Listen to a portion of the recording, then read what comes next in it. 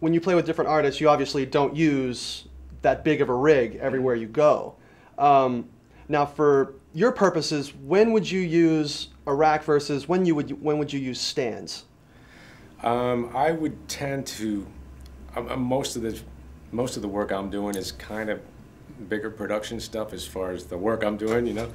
Um, however, I'm I moved to New York, playing in clubs, playing with different singer-songwriters, people when they didn't have deals and stuff, and I still, um, that's still my passion is playing small gigs, and I don't care how big the place is, all I care about is the music, you know. So, and a lot of those cases, if there are four bands in a night, um, I'm not going to be carrying a rack and setting it up, you know.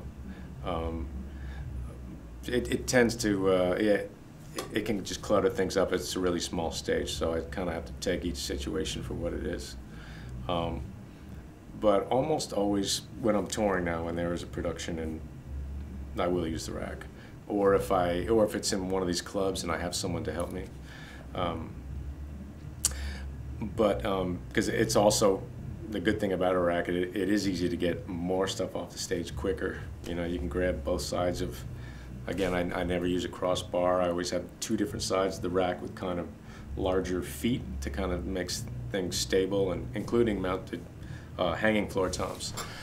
But uh, in those cases, you know, you can pick the whole thing up and move it off. But if I'm using a, a four-piece kit with a couple cymbal stands and um, and maybe a laptop or something like that, I would tend to use traditional hardware. So. Okay. Dude, Van. Thanks again for coming out, dude. You got it, man. It's awesome. Thanks for having me. Oh, no problem. Long overdue. I know, I know.